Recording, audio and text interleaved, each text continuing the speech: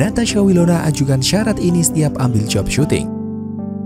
Dikutip dari suara.com, artis Natasha Wilona mengajukan beberapa syarat saat hendak mengambil proyek film maupun sinetron. Dia rupanya menghindari adanya adegan dewasa. Hal itu terlihat dalam video kehidupan Natasha Wilona ternyata begini. Hashtag 5 menit saja yang diunggah di Boy William di Youtube belum lama ini. Semua bermula saat Boy William menyinggung kemungkinan Natasha Wilona berhenti syuting apabila sudah menikah.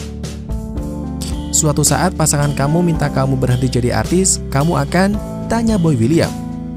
Menanggapi hal itu, Natasha Wilona pun langsung menjawabnya. Pemain anak jalanan ini mengaku tak masalah meninggalkan dunia hiburan. Kalau demi kebaikan, aku ikutin, jelas Natasha Wilona.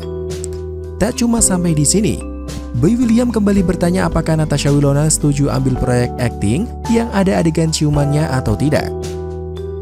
Kamu nikah sama orang nih, ada adegan ciuman sama lelaki lain, ambil gak? Ucap Boy William.